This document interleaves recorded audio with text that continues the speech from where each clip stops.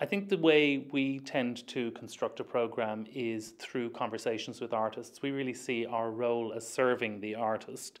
And so conversations that may begin in every any given year might not actually materialize into a work until many years hence. But that is really at the core of it. And so those conversations then obviously have practical implications in terms of venues and schedules and everything else. But really at its core, um, this is all about a moment that exists between an audience member and an artist. So that has to be at the core of our planning.